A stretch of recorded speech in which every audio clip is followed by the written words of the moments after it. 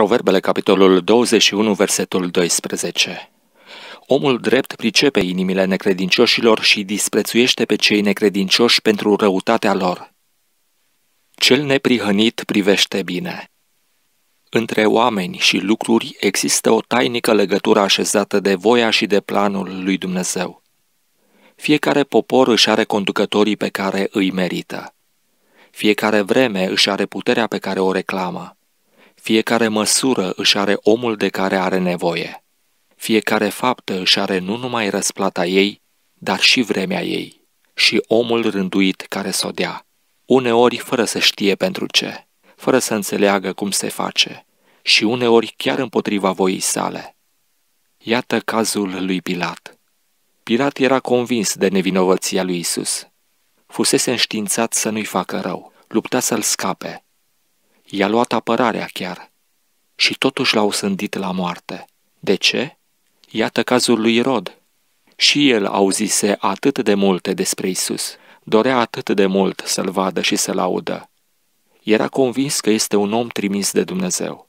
S-a bucurat chiar când l-a văzut.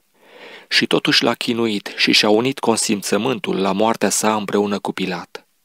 Evanghelia după Luca, capitolul 23, versetele de la 7 la 12, și Evanghelia după Ioan, capitolul 19, versetele de la 12 la 16.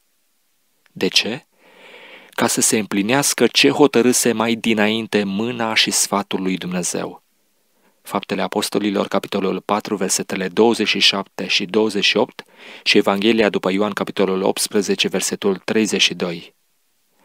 Și întocmai ca în cazul Mântuitorului nostru este și în cazul fiecărui credincios al său când pentru împlinirea voii și planului dumnezeiesc este rânduit ca un credincios să sufere, căci Tatăl a rânduit ca în lumea aceasta fiii săi să aibă aceeași soartă și același drum ca fiul său, adică suferința și jertfa, atunci Dumnezeu însuși aduce fiecăruia vremea suferinței și a jertfei.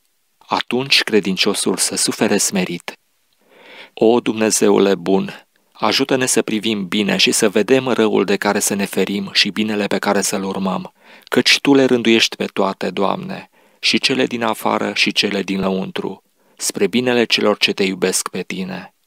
Ajută-ne să credem neclintiți aceasta. Amin.